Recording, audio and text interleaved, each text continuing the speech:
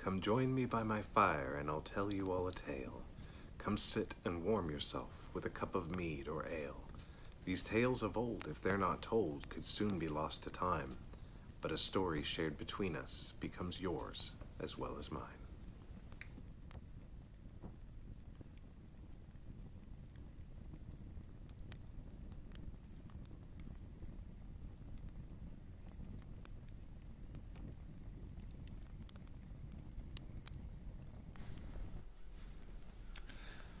Loki paid a hefty price for his misdeeds and insults of the gods. A hefty price indeed. He pays that price still to this very day, and will for many more to come. But Loki had been a friend of the gods, a trickster, certainly, a troublemaker, even. Yet he also helped the gods, and had great adventures with Thor. And he knew the gods well. He knew they would not forgive his dark deeds, nor his slanderous words. And he knew well the depth of punishments that they were capable of handing out. What could have made him do and say such wicked things to his friends? And what could have made him risk such harsh punishment by admitting his misdeeds? What could plant such anger and hate in a man's heart. Lest we forget, Loki had children. Loki was not born of the Aesir. Indeed, his father was the giant Farbauti, and his mother the giantess Laufey. Only the Allfather could say why. But Loki was adopted into the Aesir as kin. Odin and Loki shared their blood and became brothers, and Odin swore an oath that he would forevermore accept no drink that was not also offered to Loki. He would come to regret that oath. Loki took a wife, Sigyn, and she bore him two sons, Vali and Narfi. But Loki had other children as well. There lived deep in Jotunheim a giantess named Angrboda, and she bore Loki three children. But these were not like his other sons. They were not like the gods, nor even like their Jotun parents. The first child was a wolf, whom they called Fenrir.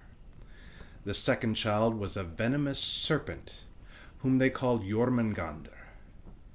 And the third was a girl they named Hel. Half of her body was bluish black, and the other half was flesh colored, and her gaze was fierce and somber. The children were raised solely by their mother in Jotunheim for a short while, until the gods learned of them, and learned through prophecy that these children would bring great misfortune to the gods. And so the Allfather sent some of the Aesir into Jotunheim to bring the children to him. Seeing the children, it was determined that with the prophecy and considering who their mother and father were, there was too much potential for great ill if they were left to their own devices. And so Odin cast Jormungandr into the great sea that surrounds the world.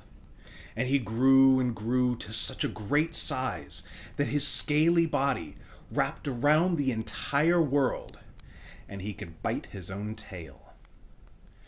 Hel he sent down into Niflheim, and though she was to stay there, he granted her great power over all the nine worlds.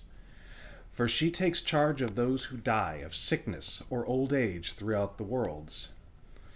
She has a great hall called Eljudnir, or Sleet Sprayed.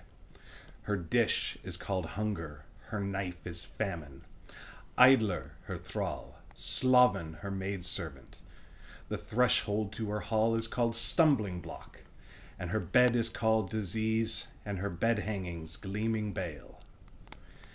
Despite all of this, and her half bluish black complexion, her hall is a place of rest for the dead, and should not be feared. The wolf the Aesir brought home to raise, But only Tyr dared approach close enough to feed it. And so he himself raised Fenrir. But the gods saw how fast he grew and how fearsome he was becoming. All the prophecies said that he would be their destruction. And so they resolved to bind him. The gods crafted a strong fetter, which they named Laedingr, and they brought it to Fenrir. They dared him to test his strength against it. Well, the wolf felt this would be an easy challenge, and he allowed the gods to bind him. With one great strain, he broke Laedingr and freed himself. He was congratulated on his strength. But the gods then went and made a new fetter, stronger than Laedingr by at least half, and they called it Dromi. They dared the wolf again, saying he would gain great fame and renown if he was stronger than such fine craftsmanship. Fenrir examined it. It seemed to be much stronger than Laedingr. But then again, he had grown in strength since that first test as well. But he knew that if he wished to gain fame and renown, he must take risks. And so he allowed the Aesir to bind him for a second time. When the gods finished, he strained and thrashed, striking the fetter against the ground with such force that bits of it flew off, and he freed himself from Dromi. Since that day, the people have used the phrases to get loose from Laedingr or to dash out of Dromi to describe doing something that is very difficult.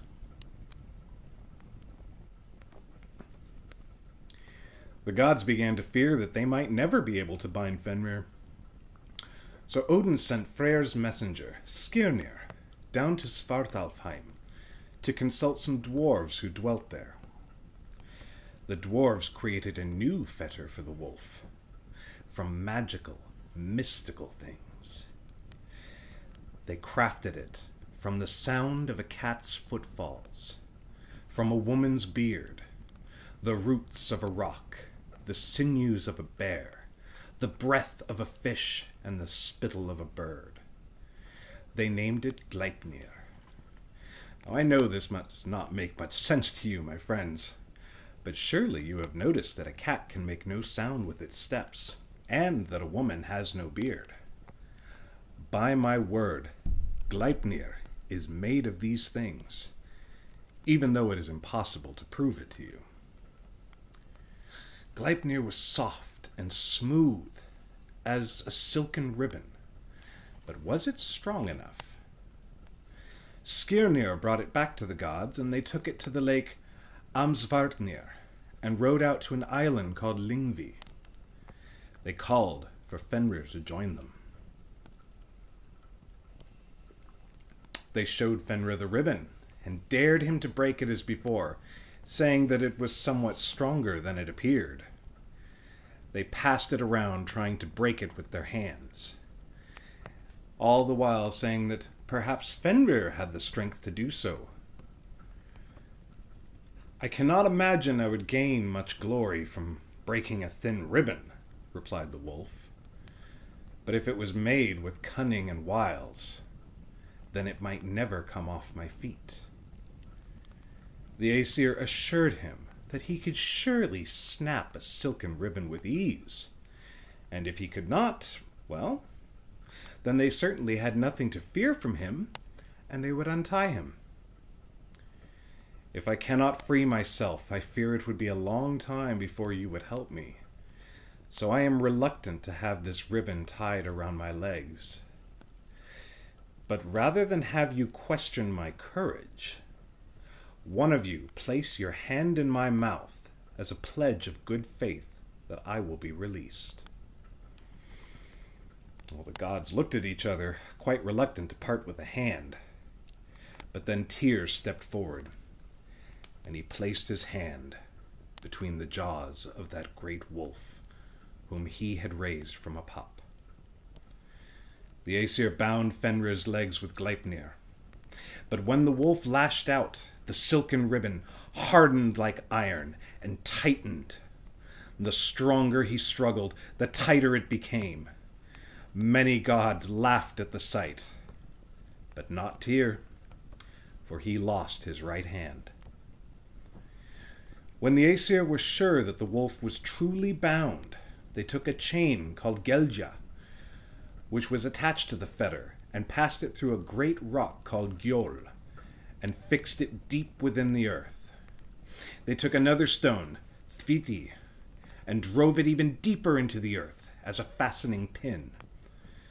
Fenrir could not believe this, and he tried to bite at the Aesir. And as a gag, a sword was thrust into his mouth, the hilt in his lower jaw and the point in his upper.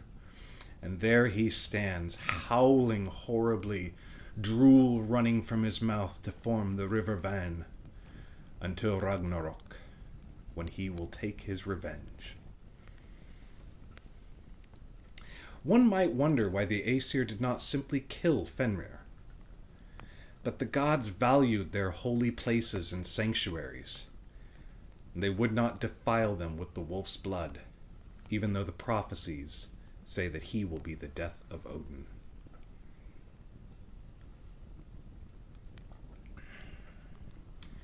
Perhaps Loki's anger at the gods was justified.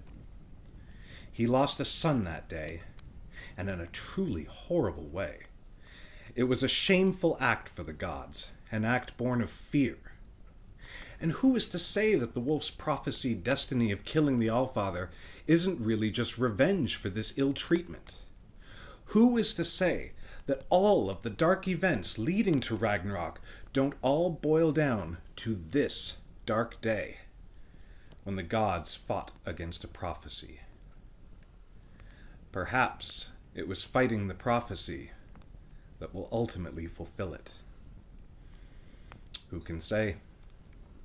What I will say is this those holy gods, those wonderful and marvelous doers of great deeds, deeds of honor and courage, let fear make a shameful decision for them, as fear so often does.